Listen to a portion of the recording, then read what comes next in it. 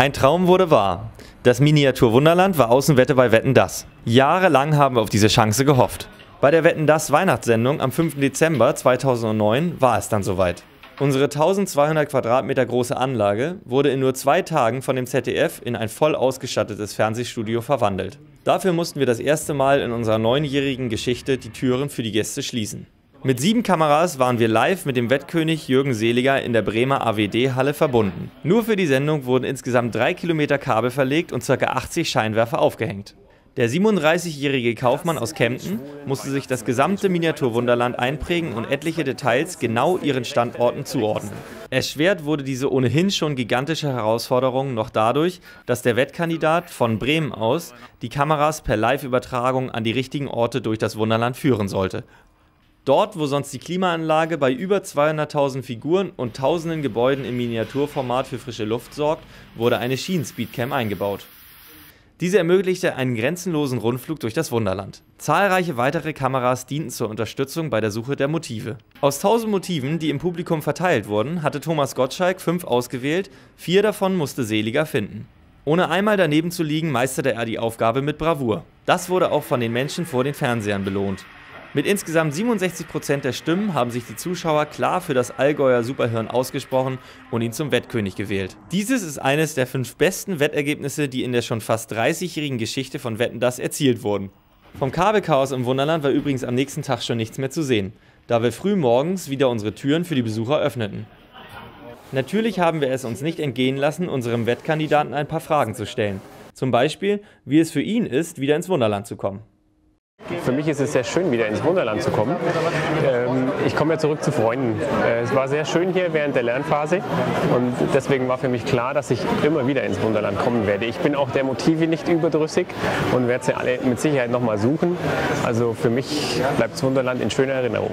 Und wie hat es sich angefühlt, Wettkönig zu werden?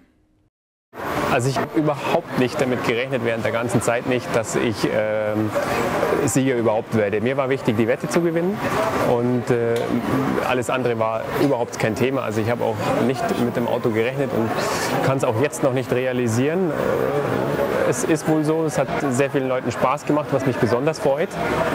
Und es war sehr aufregend danach. Wir waren auf der Aftershow-Party, haben die ganzen Leute nochmal getroffen, sehr viele Glückwünsche, sehr viele Fotos.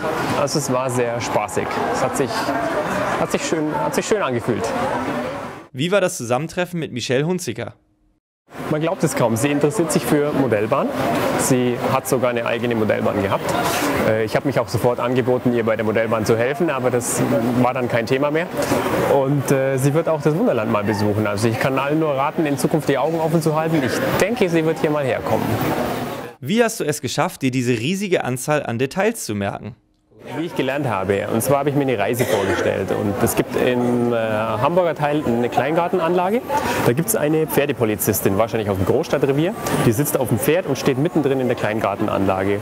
Und weiter links gibt es dann äh, eine äh, Poolparty mit drei Leuten drin. Es steht aber nur ein Paar Schuhe vor dieser Poolparty. Und ich habe mir dann die Frage gestellt, was die Polizistin da macht. Ganz klar, sie klärt den Diebstahl der restlichen Schuhe auf. Und so konnte ich mir die Motive in einer Reihenfolge merken, indem es immer wieder eine andere Geschichte gab. Dann wollen wir ihn mal testen. Der müsste im Harz sein. Da gibt es eine Weide und da stehen haufenweise Stiere drauf und da steht dieser Polizist mittendrin. Dann gehen wir hin.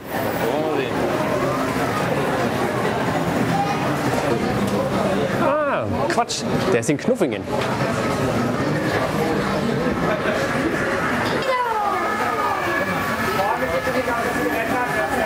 So, da steht der Kollege. Bulle unter Bullen. Abschnitt Amerika und zwar steht der auf dem Bahnsteig in den Everglades. Mit dem Vogel vorne dran, mit diesem seltsamen Vogel. Ich bin mir nicht sicher, was es für einer ist. Es sind beides schräge Vögel, die suchen wir jetzt.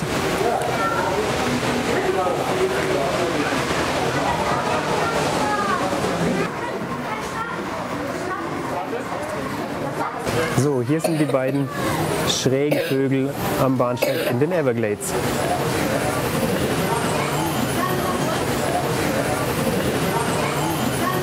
Das sind die dicken Zwillinge in Skandinavien. Die sind beim Schleusenwärter. Ich würde sagen rechts vom Schleusenwärter. Wir gehen mal nach Skandinavien.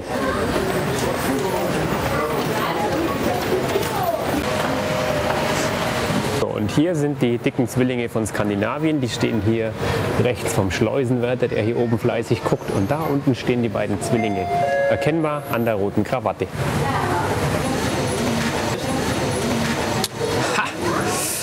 Das ist unser Mafia-Killer und der steht auf dem äh, Chibo-Haus in Hamburg. Und da gehen wir jetzt hin. So wie wir sehen, sehen wir nichts. Wir sehen das Motiv natürlich nicht, weil es jetzt dunkel ist. Also warten wir noch einen Augenblick, bis es wieder hell ist, dann sehen wir das Motiv. So, jetzt schlendern wir spielerisch an einem meiner Lieblingsmotive vorbei, nämlich dem kleinen grünen Schiff in der Speicherstadt. Gehen rüber zum Chibo-Haus und gucken mal im Chibo-Haus oben aufs Dach, wer da steht. Der Mafia-Killer.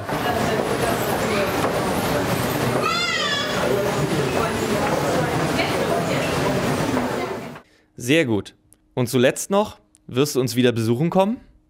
Natürlich komme ich wieder ins Wunderland, gar keine Frage. Ich möchte meine alten Kumpels wieder besuchen. Zum Beispiel meinen Freund James Dean hier unten, der sich ja immer noch äh, an die Türe lehnt. Den werde ich schon wieder besuchen.